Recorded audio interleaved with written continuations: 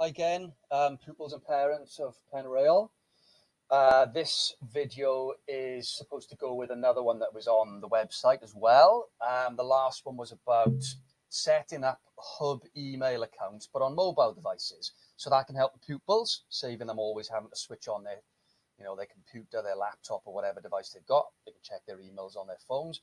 Parents can also do that as well to help monitor what's going on with schoolwork.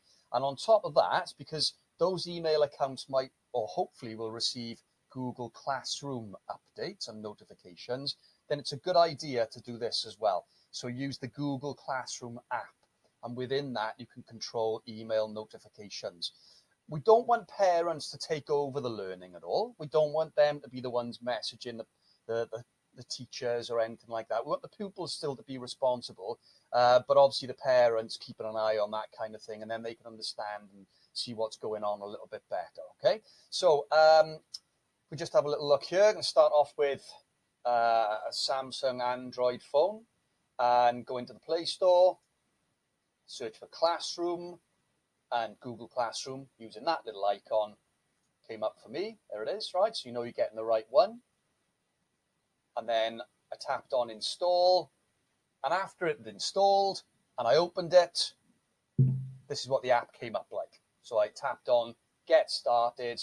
And what you need to now think back to is your hubcymru.net email address that the pupils, uh, um, the children have got at home. And the password, I don't think the password's actually needed, but it's that Hub Cymru email address that's important there again, because it's an Office 365 account. It's um, a hub username and password, but also thanks to the Welsh Government now, it's a Google Classroom password, uh, email address, and so on as well. Okay, so it's an account for that as well. So you need to put that in. No need for any capital letters, but at hubcymru.net at the end, I just blanked out what would have been in there, but you need to put the first part of the email address in. And then I tapped on next, and I was a little bit worried because at first it just said there was nothing in there, and I thought, oh, here we go again. We're going to end up on the wrong Google account, and it's not going to show. But just a couple of moments later, it refreshed and then all the classes came through. So just be patient and those should come through correctly and you'll see the exact classes that the pupil should be in. Um, there are still some subjects in the school where pupils need to click the plus sign here and use the class codes that are on the school website if you're only just joining into this uh, Google Classroom remote learning, okay?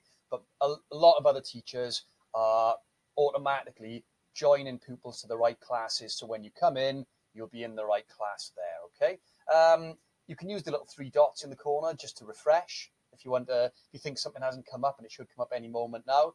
All right, so after refreshing, uh, I've just gone over to the top left-hand menu and let me just show you again. So that three lines there, okay? And we're into the notifications now, which is really useful to use. So if you tap on notifications, now it again needs to refresh a little bit, so just be patient with it before they come up. And you get a list of your notifications.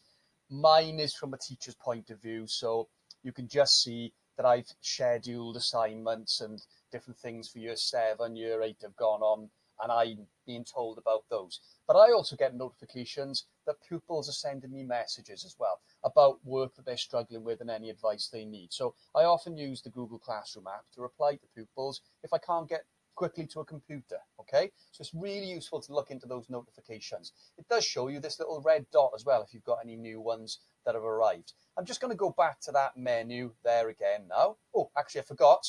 You can check which ones have been unread uh, or just see all of them. You've also got the three dots in the top corner where you can refresh the list again, right? But I'm going to go back over to the, the burger menu, as we call it, in the top left. And if you scroll down inside that menu and go to settings, you can gain more control over how many Google Classroom notifications come to the pupils' Hub email accounts. So if parents have set up Hub emails and this, and it's overloading you with too many notifications, you can sort it out a little bit. So you go to settings and uh, you can switch off the email notifications altogether if you wanted to.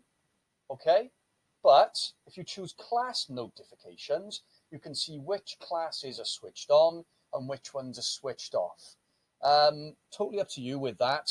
It kind of removes the point of using the app a little bit if you switch them all off, but you can switch them on and off if you want to. I'm just going to go back here and device notifications gives you a little bit more detail into which things you get notified about.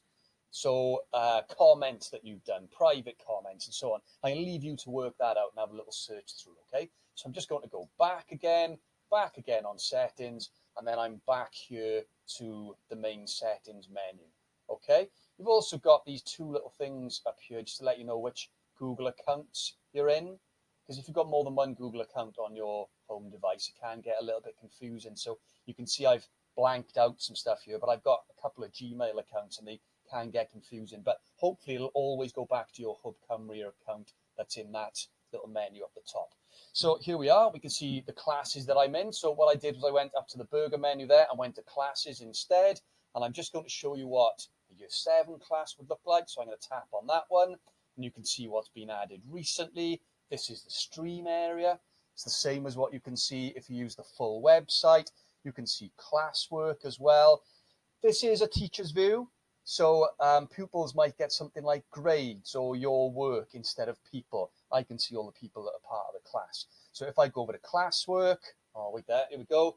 What's new in classroom? Right, we're not using Hangouts, really. We're not doing sort of video teaching live lessons. So you can just dismiss that, okay? And in the classwork area, you can see different categories and you can tap on one of those as a pupil or a parent and you can see the exact same assignment and the resources and you can look at those through the app the same as you would do if you were on a full keyboard computer laptop bigger device it's easier to complete the work if you're on a bigger device rather than just a mobile phone but you can still do the videos you can have two devices going at once if you want okay so good luck with that uh, using the email app or any email app is a really good thing to do but along with using the Google Classroom app as well. Okay.